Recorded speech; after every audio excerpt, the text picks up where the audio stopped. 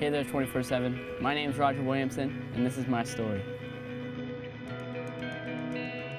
Before I established my relationship with Christ, I was very shy, I wasn't very outgoing, and I usually kept to myself most of the time. And even though I was raised in a religious home, I really didn't have that relationship with God. It wasn't until like a year and a half ago that my friend invited me to 24 7, and that is when my relationship with God went to the next level. When I first started coming to youth group, the people were really intimidating. It was crazy. I didn't know how to take it all in. But there was this feeling in my heart telling me that I needed to keep coming. And once I started coming regularly, that's when God started speaking to me in a way that I decided to change my life and to follow Jesus.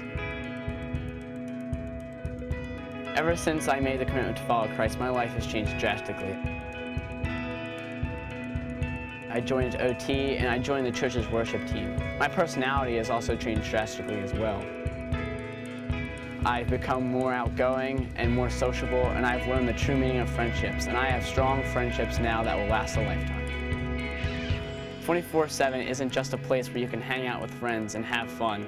24 7 was made because of God's love, and God's calling out to you at this very moment.